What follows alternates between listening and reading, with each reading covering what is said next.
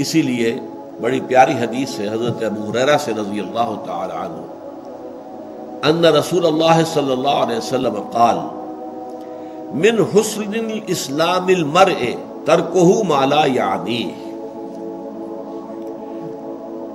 एक इंसान के इस्लाम की खूबी यह भी है कि हर उस शय को छोड़ दे, जिसका कोई फ़ायदा नहीं। फ़ायदा या दुनिया का? कोई ज़रूरत आपकी पूरी हो रही है। माश के लिए आप जद्दोजहद कर रहे हैं।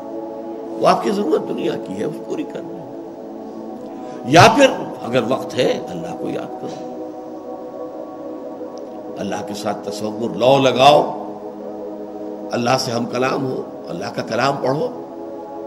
ज़िक्र करो, कुरान पढ़ो। तो वह लजीन लग में मोरदून, वो लोग के जो लफ्ज से एराज करने वाले अब यहाँ नोट कीजिए कि इसके मुकाबिल सूर्य मारिज में क्या आया?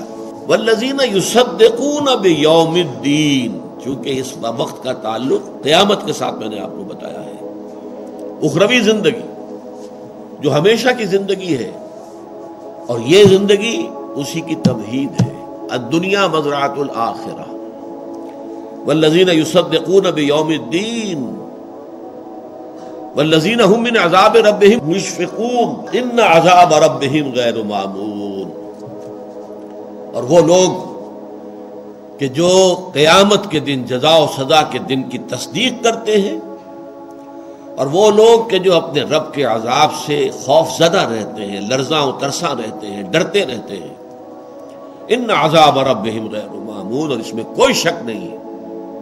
कि उनके रब का अजाब ऐसी शय नहीं है जिससे इंसान अमन में हो सके, नचिंत हो जाए, बेफिक्रा हो जाए, गैर मामून। इसका ताल्लुक है इससे कि वल्लजीन लग में अगर ये आखरत का यकीन है, अगर आखरत के अजाब की फ़िक्र है तो लाजमन इस दुनिया का एक एक वक्त, एक एक मिनट, एक एक लम्हा जो तुम्हारे पास है ठीक है, तुम्हारे जिस्म को istirahat की भी ज़रूरत है तो नींद भी है। वैन नफ्स का का हक तुम्हारे नफ्स का भी तुम पर एक हक है।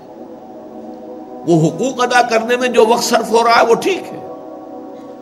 लेकिन ये कि ये जिसको हम कहते हैं खाम खा के बेस्ट टाइम, वक्त गुजारना, किलिंग दी टाइम, ये चीज़ जो है, ये इस्लाम और ईमान के साथ और बंद मोमिन की शख्सियत की तामीर के प्रोग्राम के साथ कोई मुनासबत नहीं।